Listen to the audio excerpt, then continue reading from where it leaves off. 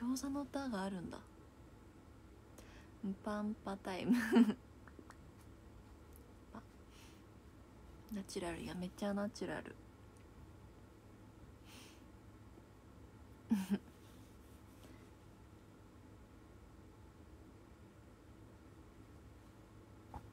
メイク好きじゃないんですよね。めんどくさがり屋なので。これねミオンさんのメイク動画を見てたら同じやつ使ってたフィグフィグ。06番ピント合わないか。フィグフィグ同じ色だった。かわいいこの色ちょっとつけすぎた。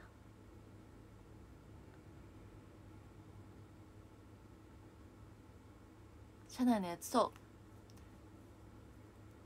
餃子クッション気になった。あなんだっけ餃子クッションって。あねミーヨンさんのね峯岸さんの餃子クッションでしょ。かわいいねあれね。れいちゃんも車の中でメイクする？私もします。朝早い一部の握手会の時とかはあのお肌だけ家でやってあとはポイントメイク。眉毛目鼻とかも全部。ファンデーション以外は全部もう車内か会場で描きます。ちょっと朝ねなんか朝ごはん食べてたら朝時間なくなっちゃうんですよねいつも。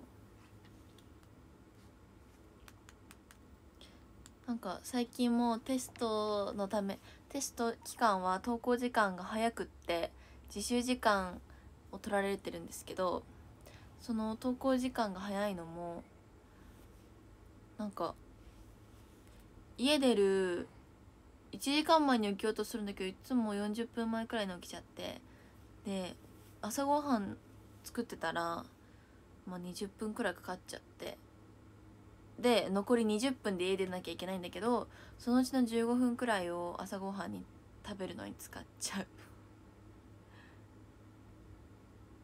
でいつも後悔するっていう。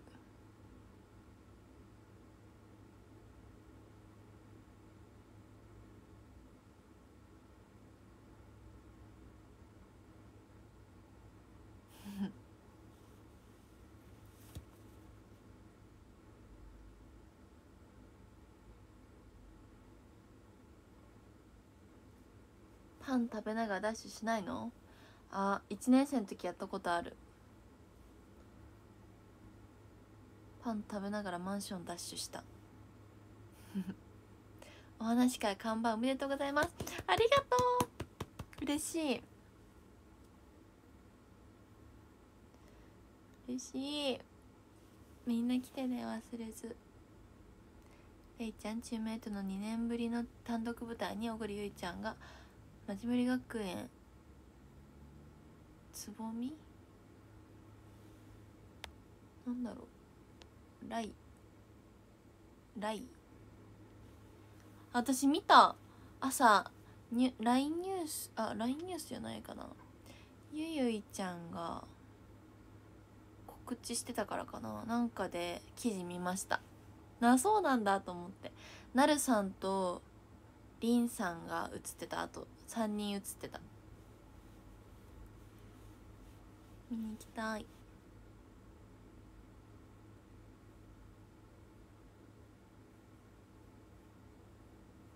何なんだなんだっけ？なんかの記事を見ました。顔見た感じ花粉症昨日より調子良さそう。えそうなの？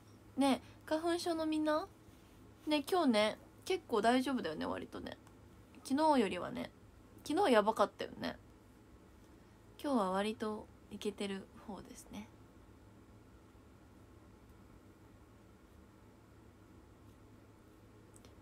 れいちゃんマジブリ舞台出てほしいね。いつか舞台も出てみたいなって思いますね。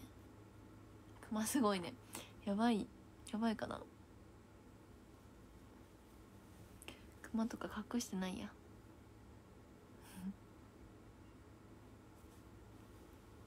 光光私さ目が影になっちゃうんですよ。っていうのもあるかも。多分上から撮ったらそんなない気がする。めっちゃわかる影。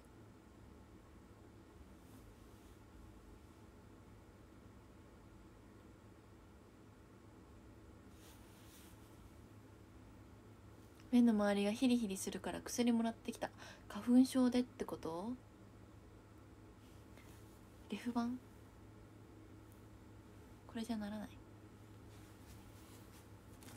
白い紙とか。ルーズリーフ。さっきまで勉強してた。あおすごい。レフ板ってレフ板おすごい。あクマはありますね。ということは。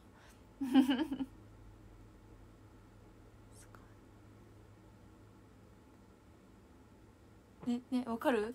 今角度変えてるんだけど明るさ違くない？これとこれが違うほら。全然。勉強疲れかな？まああんま勉強してないですけどね今回。いつもより。いつもより勉強してないけどいつもくらいできてる。いつもが勉強しすぎなのかなって思った。もうちょっと勉強しなくても案外テストいけるんだなって。なんか必死でなんかテストあるあるなんだけど私の。必死でさなんか単語とか覚えるじゃないですか。世界史とかに出てくるさなんか人物名とか。すごい頑張って覚えるじゃない？作品名とか。美術の。でもさそういうのが記号問題で出た時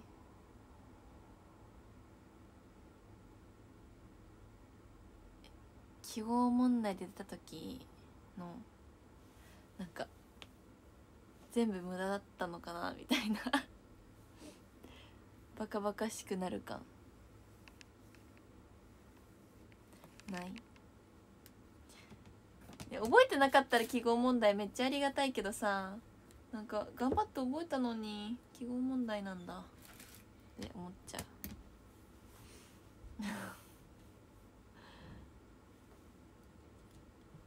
頑張ったのになってなっちゃうね。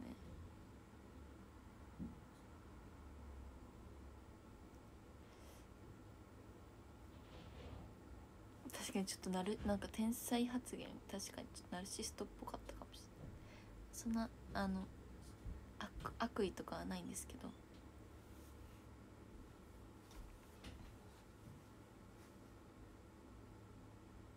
マークシートだと思う適当です。確かにマークシートって本当にね運とかもあるよね。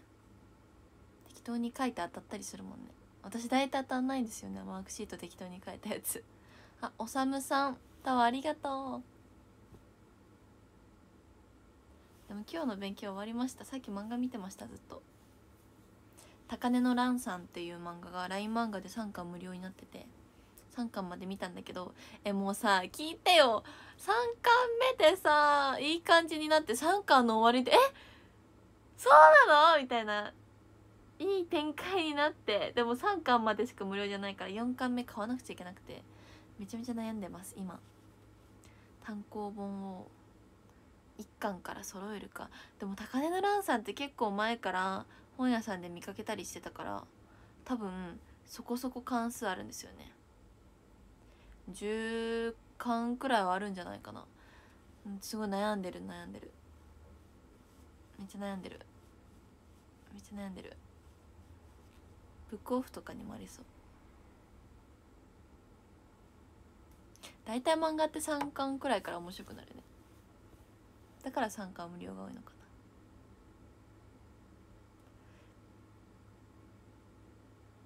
英語のテストはまあそこそこの出来だったと思います。そんなにできたわけでもない。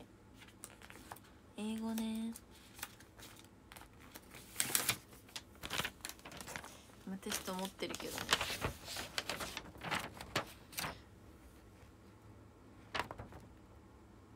できた気がえどうなんだろう。え本当に微妙です。リスニング2つ間違えてた。からあともう一個長文のところは何個か落としてる気がするので微妙いです。90点いってればハッピー。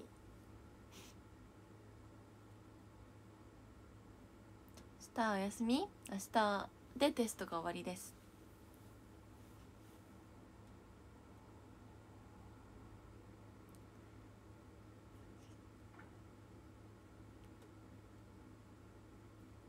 日本人は日本語できれば OK ね。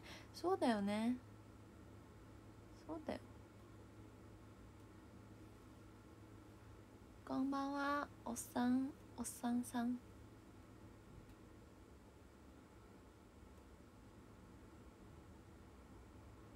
リスニングはみんなが知ってる通り苦手なので本当に分かんなかったですね今回も。明日えっと数学と古典です。古典はねさらしな日記やってる。わかるかな？さらしな日記。さらしな日記？さらさら9日記かな？急に忘れたわ。さらしさら9日記。OK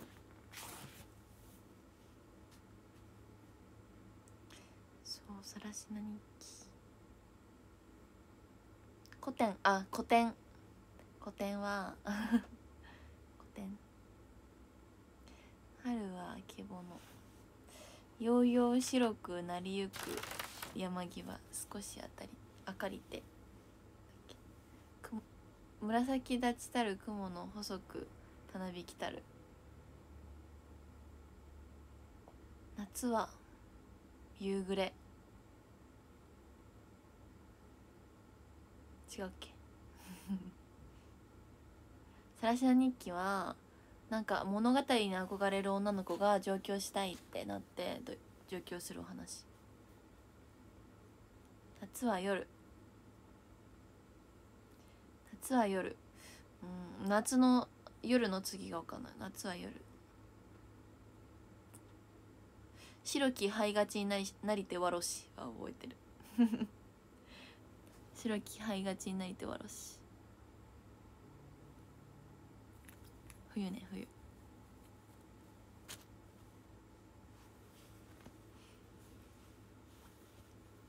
1年生？1年生？2年生？や結構記憶に新しいかも。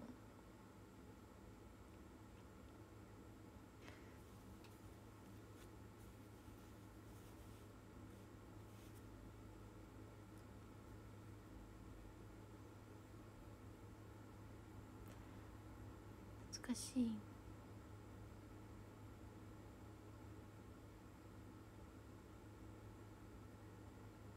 古典は社会に出てほぼ役に立ったことない。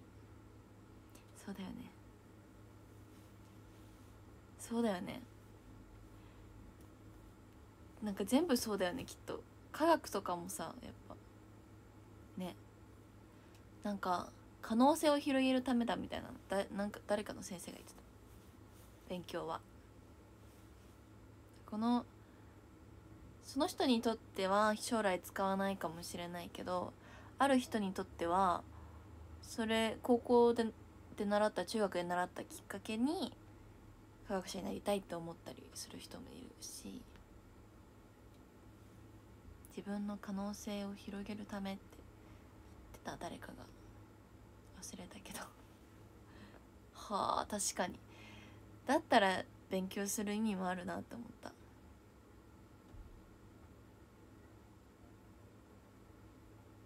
きっかけにもなるらしい。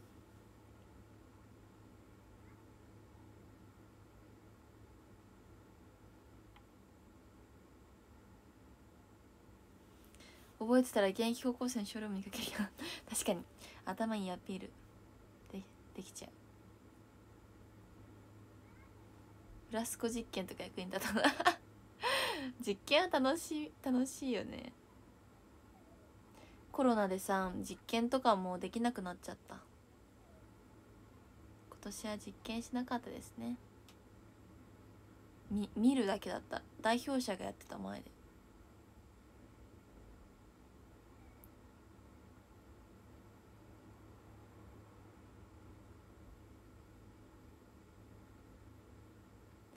そう。対面だしね。ダメらしい。バーナーに火つけられる。バーナーってあのあれ？回すあのこのあれだっけ？回すやつだっけ？あ中学の時しかやったことないけどコックを外してみたいなやつだよね。最初下回して次上を緩めて青い光にする。みたいな。あ懐かしい。それで火って青い方が熱いってこと知った？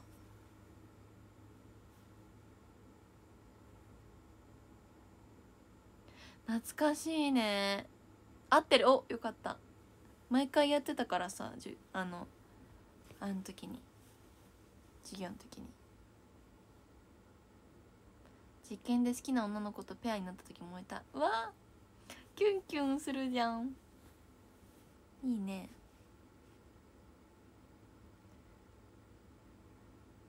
アルコールランプでべっこう飴。いいな。あ小学校の時に理科クラブがあって理学クラブ謎に人気だったのはべっこう飴が食べれるからっていう噂があったから。あと野外活動クラブっていうのもすごい人気で焼きマシュマロが食べれるからっていう噂でみんな入ってた。私はダンスクラブと56年は手芸クラブだったかな。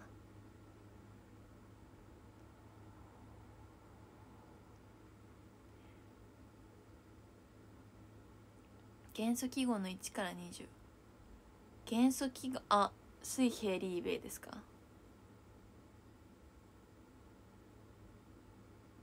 キュンキュンとドロドロがレイちゃんの主食みたいなとこある。それはそう。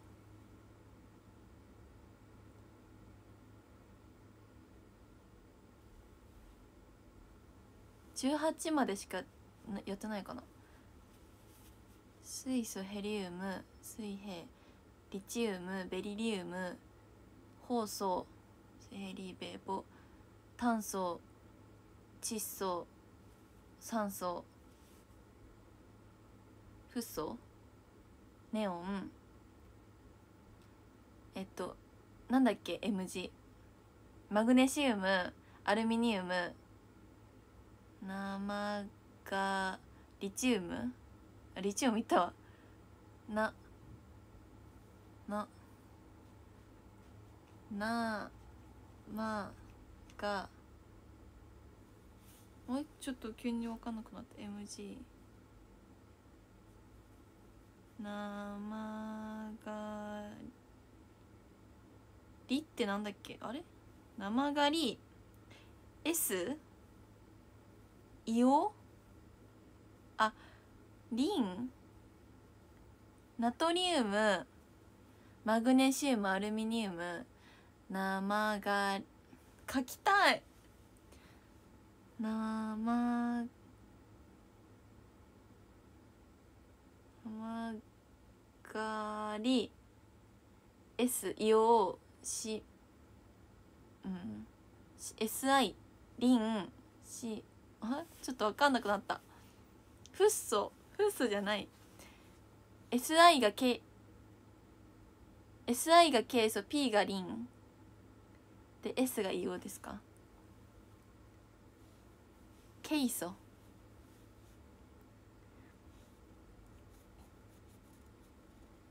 スえっと塩素グラアルゴン。カリウム。カルシウム。P がリンか。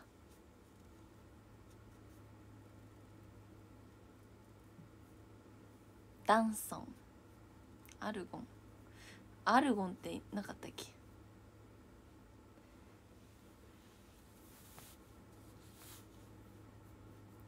ピーがリンでそれがケース。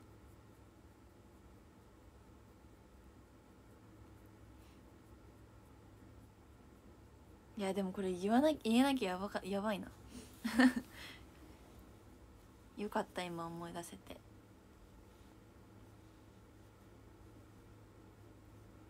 アルゴンあるよっていうの少しで ダジャレ。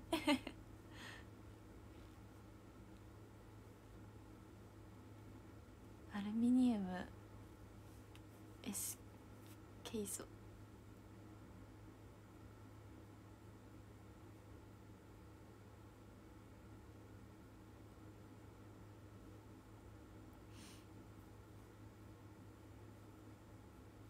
あ最近あれ覚えたのよ。イオン化傾向ってやつで。リッチに貸そうかな。まあ当てにすんな。ひどすぎる借金っていう。なんかさ水平リーベイみたいな覚え方するやつがあって。理科ってさいつもそうだよね。炎色反応とかもさなんだっけなんか馬力借りたみたいなやつだよね。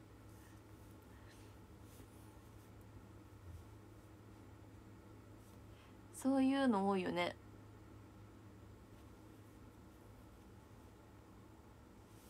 理科ってめっちゃ多くない？そういうの。語呂合わせ的な。そうそう。金が最強。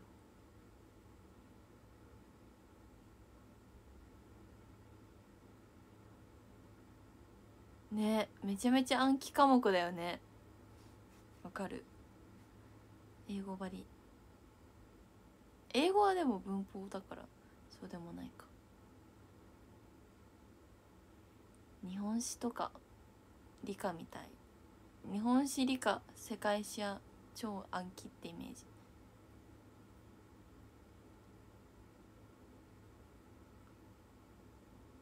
日本史も年号暗記暗記あの語呂合わせあるもんね。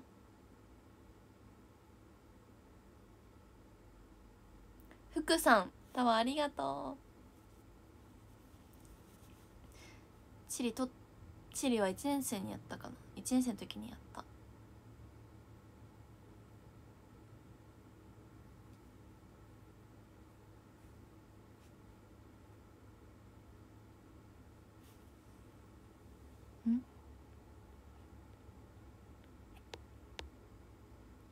ひょうちゃん。ひょうちゃんタワー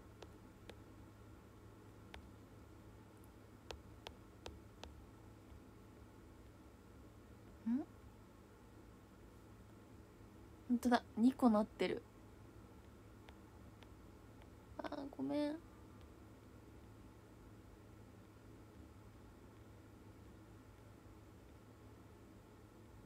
ひょうちゃんタワーありがとう。ありがとう教えてくれた人。ありがとうひょうちゃん。ごめんね。遅くなっちゃった。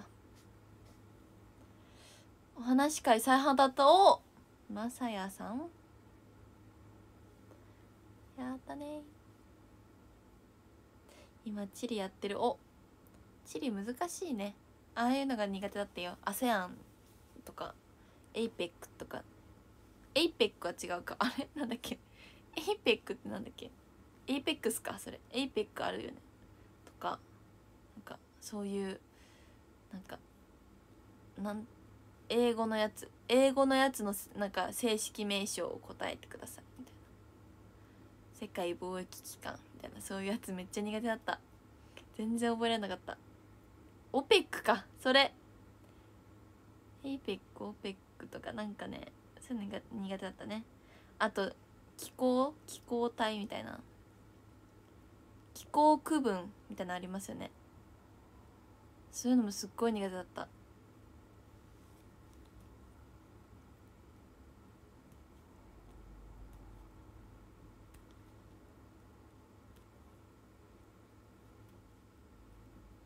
すっごい苦手だった。あそう。あツンドラ。あなんかねその気候地中海性気候をアルファベットで表したりするのよ。なんかなんとか機構っていうのをアルファベット2文字とかで表すんですよ。それがめちゃめちゃ大変だった。覚えるの。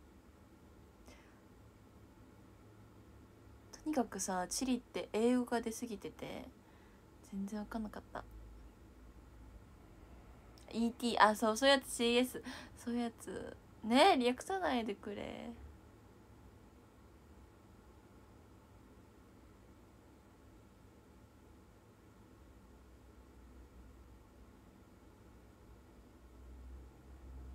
全然分かんなかったわ。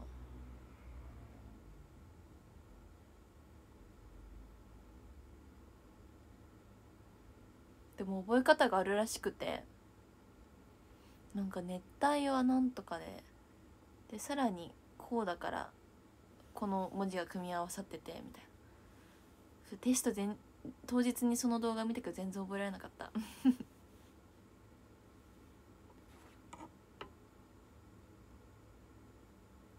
えそう。覚えあそう C が音帯であそうそうそうそう。いうのあるらしくて。そうやって覚えたら多分暗記じゃなくてもあ周回性だからね音体だから C でみたいなそういうので多分できるんだと思うんだけど。私は無理でした。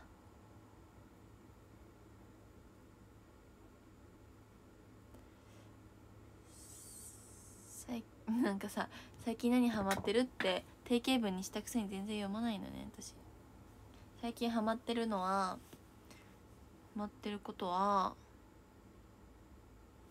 最近はキムチ。めっちゃキムチ食べてる。最近毎日お昼ご飯作るのが楽しみで。まあ今日は作ったほどでもないんですけど。昨日の残りのチゲスープを飲んで豆腐と昨日とお昼一緒であときゅうりのなんかお漬物みたいなやつを作りました。キムチはね食べる。あとオートミールも結構食べてる朝。桃鉄はねやりたいよやりたい。春休みやるめっちゃ。春休みやろうと思ってるけど。テスト期間だから我慢してるんだ。ロデオクラウンにハマってる。おそうロデオクラウンも好きです。きゅうり塩昆布とごま油とえっとなんていうんだっけ？あれ。鶏ガラスープみたいな。あ本だしだったっけ？いや鶏ガラスープ入れた気がする。ちょっと入れて。以上。なんで女子って辛いもの好きなんだろうね。本当だよ。韓国料理の影響なんでしょうかね。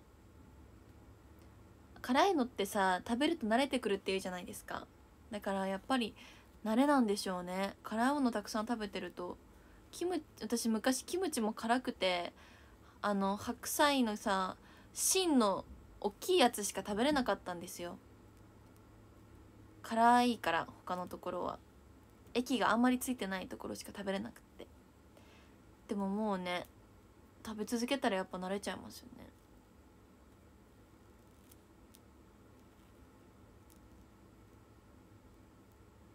角的食べられる大好き角的。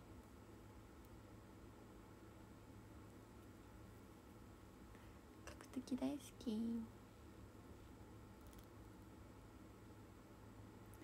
赤からのマロニー食べたい。絶対エリの影響でしょゴミさん赤から行きたい。蒙古タンメンまではね食べれないんですよね。あのプルダックポックンミョン？よくあるじゃないですか。鳥の絵が描いてある。ピンクとか赤とかの。ピンクとか黒とかの。乾麺。韓国の。あの辛さはちょっとまだ食べれないんですよね。プルダックポックンミョン。家の鍋でも締めとかする？私はいつも締めまで食べないけど食べてるね。うどんとかラーメンとかが多い。麺が多いかな。我が家は麺が好きなのでみんな。私はパスタとか好きだし。お父さんお母さん弟はラーメンが好きですね。私はうどんパスタが特に好きかも。でも中華麺も好き。つけ麺だったらラーメンよりつけ麺好きかも。小麦粉最高です。グルテンしか勝たん。パンも好き。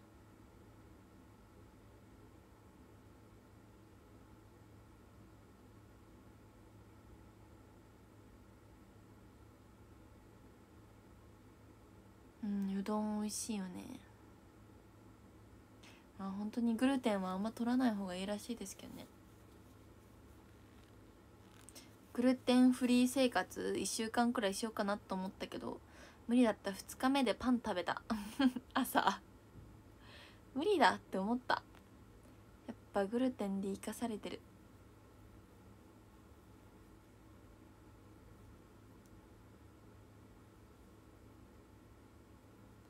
そうグルテンね小麦粉。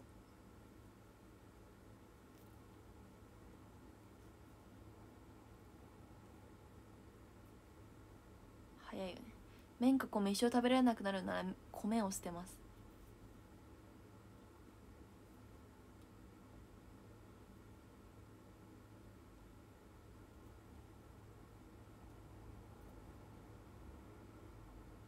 主食。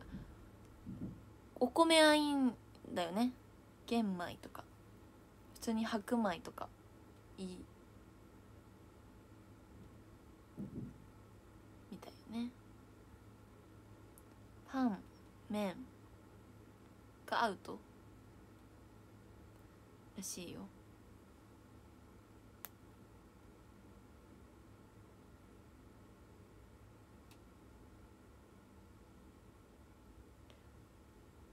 私でもお米も好きだけどね。そうケーキもダメだね。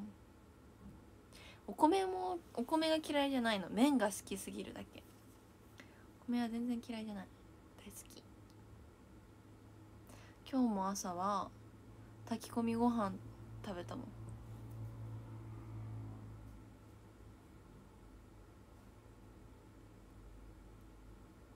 きなふりかけはねおかかが好き。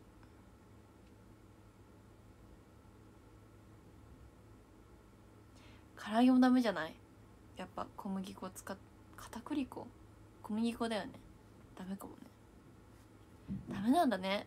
って考えるとやっぱ難しいよね。春さ春巻きも食べれないじゃないですか。春巻きの皮もダメだし餃子ももちろんダメじゃないですか。米野菜っていう生活だろうね。グルテンフリーというのはきっと。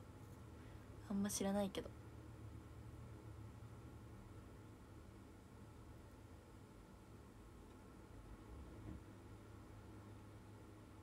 餃子自分も好きです。初見の方が使ってくるケンタウロスさん。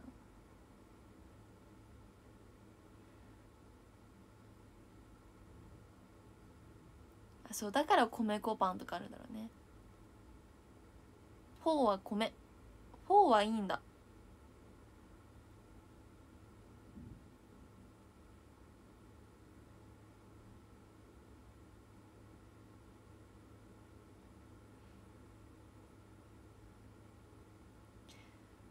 無印のふりかけ美味しいよ。えー、そうなんだ。ふりかけあるんだ。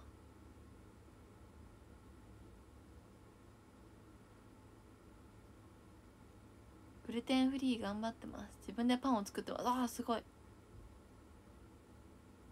すごい。自分でパンを作ってます。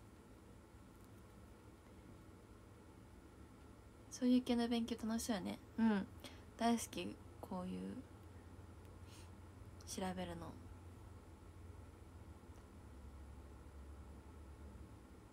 膨らませるの難しいらしい。あそっか。そうなんだ。確かに。小麦粉とか入れるから膨らむね。糖質ゼロ麺が気になってる。あ美味しい。あうん人によるかも。結局糖質ゼロ麺にしたら濃い味付けにしちゃうから。なんか結局塩分とか取りすぎちゃうんだろうね。でもこんにゃくみたいな味しますよ。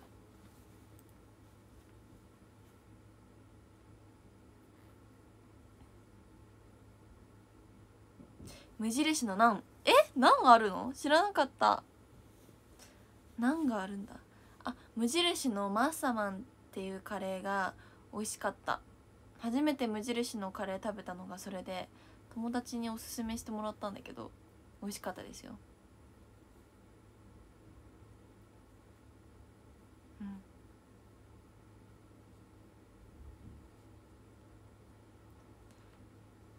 美味しかった。めちゃめちゃココナッツっぽい味がすごく美味しかったです。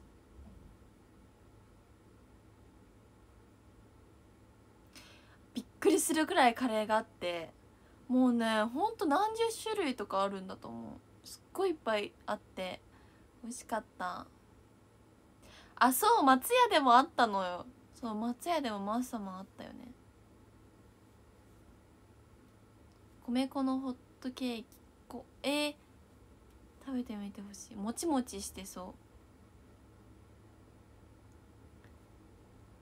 う。プーパッポンカレー。え初めて聞いた。無印にある？かな？バターチキンカレーって流行りなの？どうなんだろう？チーズナンが流行ってたからかな？バターチ無印のバターチキンカレーはなんかみんな好きよね。私が見る主婦 YouTuber さんも好きらしいよ。カレー好きですね。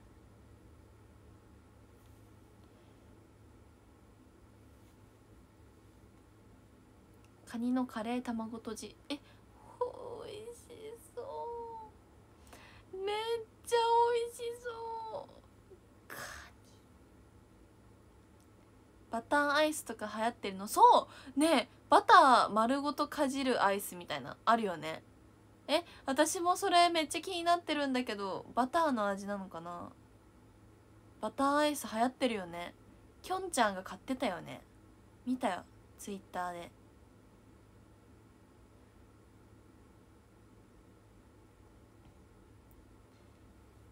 えあれなんだろうね。見た目もバターだよね。あバターなんだ。へえ。なんかあれ TikTok で見たのはあれをなんかこうバターとして使うみたいな。バターとしてバターのアイスなんだけどアイスだけどバターとして使ってみたらどうなのみたいな、まあ、最後まで見てないんだけどそういうの見たことある。何個か。あそうパンとかに塗ってたかも。ファミマのラムレーズン。うわやばラムレーズン大好き。美味しそう。みんな食べてるんだ。私も食べよ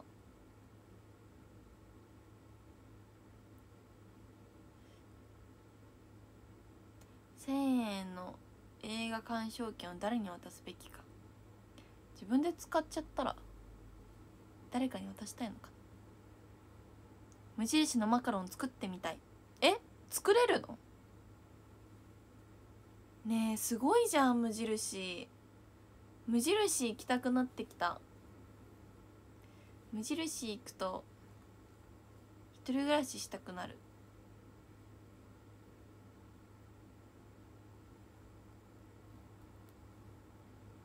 あねえ白い恋人のアイスもまだ食べてないんだよそういえば。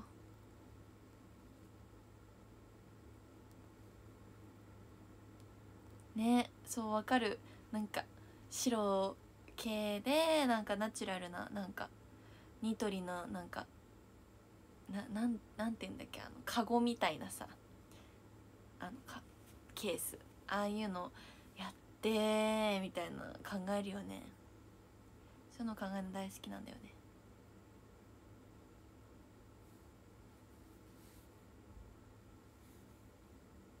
イケアのあのサイドテーブルになんかレース引いて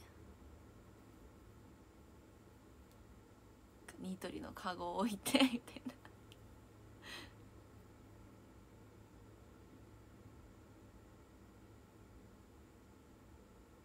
考えるね。部屋の間取りを見るのも大好きで大好き超見てる。TikTok とかでもお部屋紹介してる TikToker さんいるんですよ。不動産屋さんみたいな。そういう方いろんな方見ますね。なんか今日は目黒駅の家賃11万円のお家お家にやってきましたみたいな。なんかウォークインクローゼットで服が多い方もたくさんかけれますね。コンロは二口コンロでちょっと作業スペースが狭いかな。みたいな。そういう感じの動画。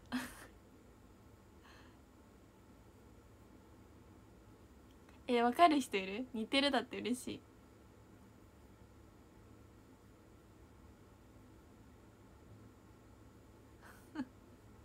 超見るの好きなのよ。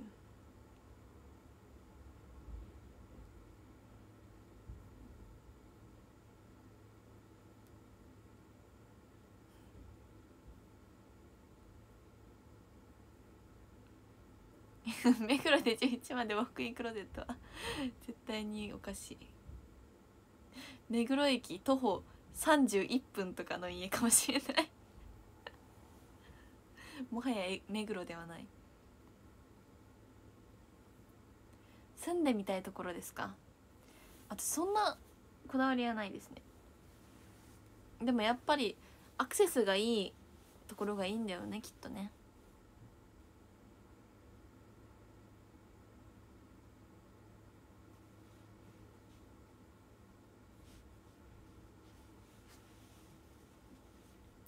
実家の目の前のマンションとかに住みたいってお母さんに言ったらなんか「す一人暮らしする意味ある?」って言われた。確かに。確かに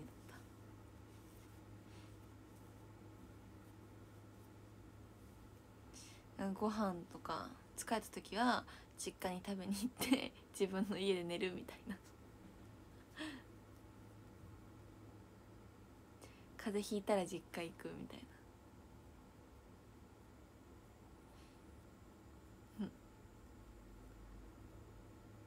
いいよね。一人になりたい時だけさ自分の家いてさ。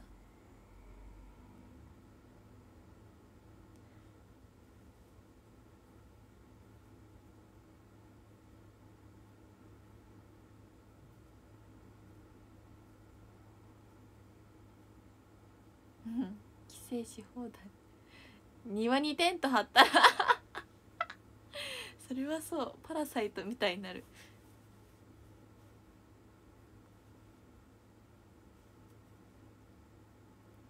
実家の近くがいいよねきっと。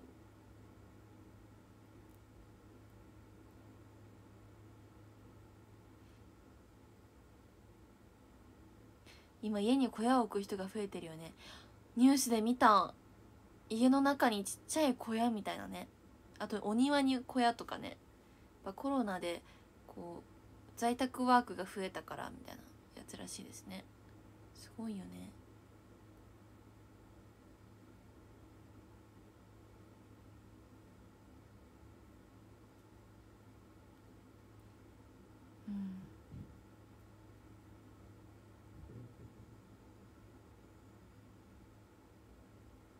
DIY で建てる人すっごそんな人いる？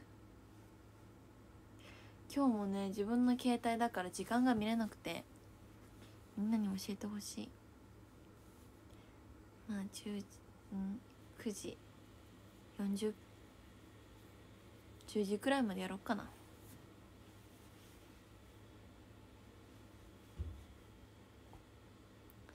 小屋で餃子屋さん開いてみる？わあ開きたい。餃子食べ屋さんがいい。餃子屋さんやってもさ食べれないじゃないですか。地獄だよね。焼いてるのにさ焼き上がったこれを出すのかって思うよね。食べる食べたいなって思っちゃう。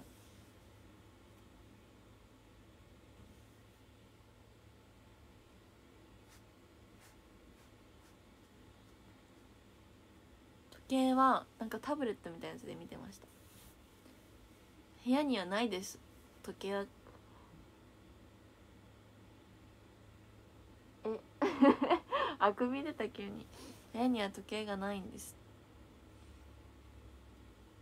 カチッカチッって音してると寝れなくて夜。カチッカチッって音が頭の中で響いて。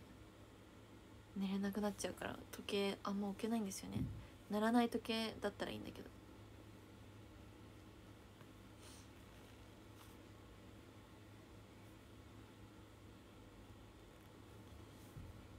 餃子ね。今日くしゃみ出てないのよ。ほんと花粉今日おとなしいかも。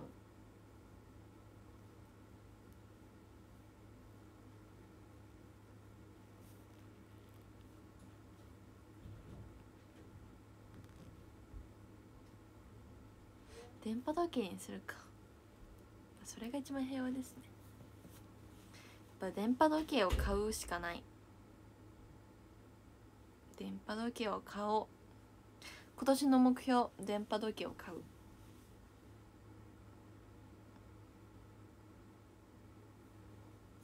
釘を金槌で打てる？打てると思う。あんまうまくないかも。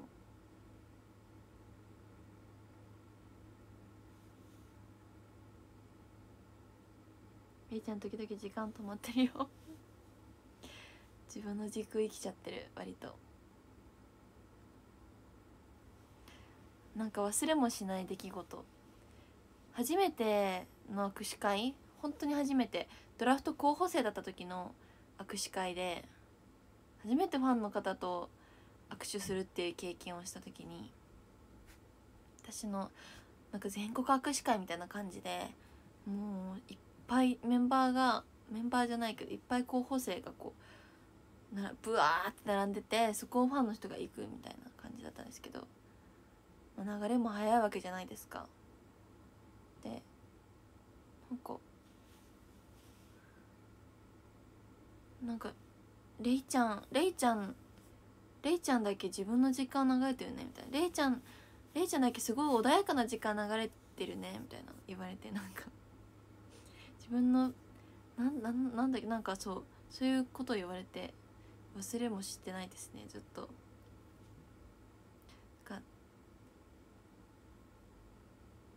穏やかな時間が流れてるねって言われた。結構善悪とかも世話したんじゃないですか。ありがとうございます。ありがとうございます。ありがとうございます。みたいな感じだったけど。なんか私もそうやってやってた感じだったんだけどなんか穏やかだったらしいですね。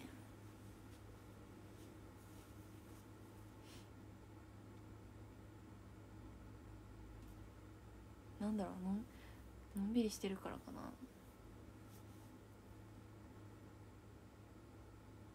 佐穂さんとかも感じるかも私。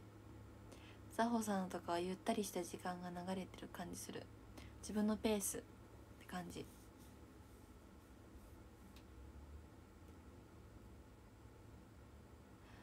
岩立さん急いでくださいって。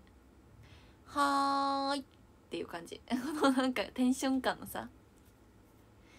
岩立さバス来ちゃった。バス来ちゃったよ。はーいちょっと待ってください。みたいな。そういう感じさほさん。大好き。私大好きそれ。いや自分のペースがありますよね。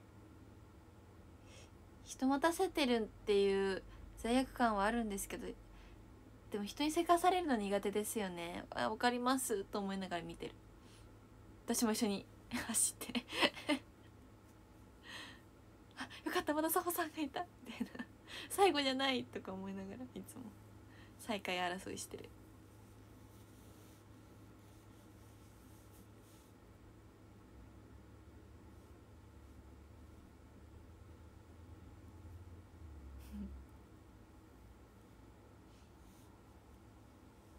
ツアーの時とか楽屋出る時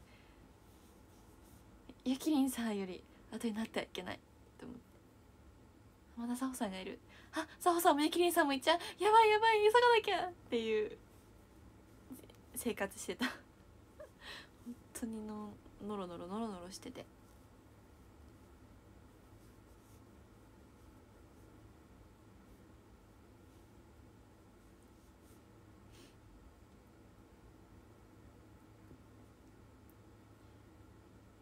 早い時は早いんですけどね。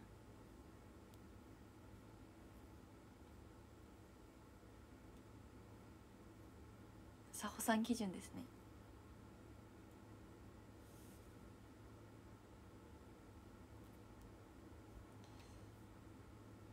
マイペース選抜。マイペース選抜。歩くスピードはめっちゃ速い。めっちゃ速い。特に冬はめっちゃ速いです。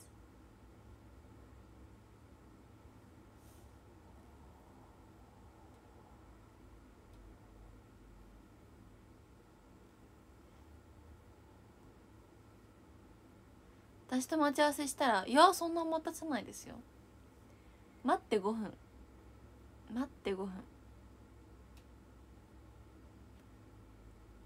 なんですかね。お母さんめっちゃ時間に厳しいのに私ルーズに育っちゃった。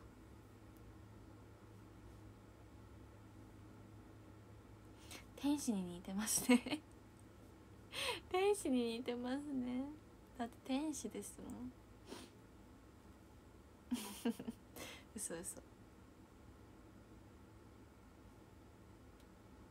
何分まで待てる？うん。何分かな？2時間。2時間までなら待てる。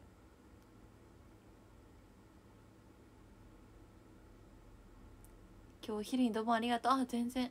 ちょっとだけやった。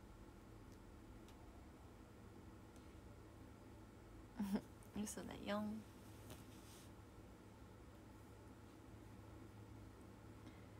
え全然待ってる2時間。暇つぶしとか結構得意でカフェとかいたらね。だってアニメ45 5本くらい見たら2時間でしょ。全然待てますね。何の連絡もなかったらちょっとやだ。もう逐一連絡してきてほしい。ごめんあと5駅あと4駅あと3駅あと2駅。あ次次の駅だよ。とか。でもはや2時間遅れるってさ今起きたっていう状況だよね。いいんだけどさ別に。ファミレスで料理遅かったら怒りそう。怒料理遅かったらちょっと怒る。だいたいレイリマナズンでご飯行って最初に料理遅くないって言い出すの私。遅くない？って言い出す大体私がちょ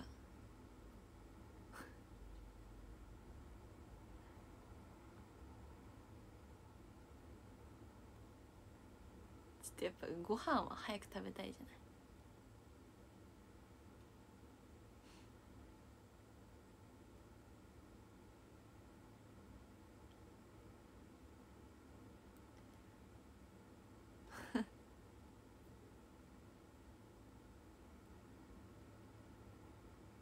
まなかちゃんは意外と言わないようなどうなんだろう。最近全然行けてないからさ4人で。わかんないけど。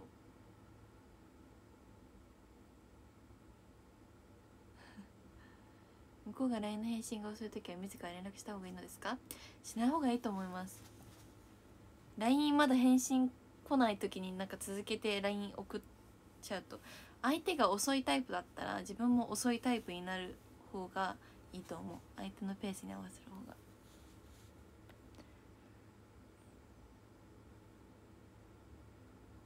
じゃあそろそろランキングを読む時間かな？4分。じゃあランキング読みますね。13位。VI ヘキサさん。12位。ブルーアート台湾さん。11位。サンマルさん。10位。まえちゃんさん。9位。まさまささん。8位。ペコさん。7位。くまっちょさん。6位。しろチャーハンさん。5位。くまさん。4位。もえもえさん。3位。ひょうちゃんさん。2位。おさむさん。1位。ふくさんです。みんなタワーもあと雪もねちょっと触れられなかったけど雪もいっぱい。投げてくれてありがとう雪合戦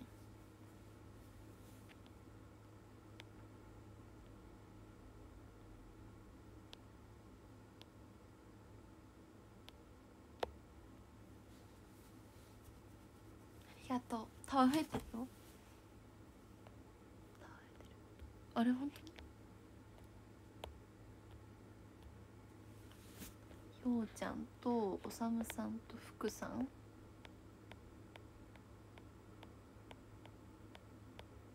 本当に雲やばいかも。春休み入るからさ明日終わったらいっぱい寝るね。大丈夫かな？見忘れはないかな？ないね。よし。みんなバイバイ。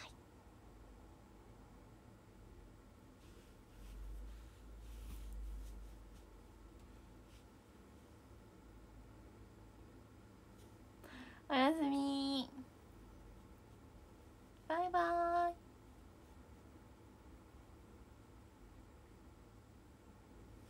黄色。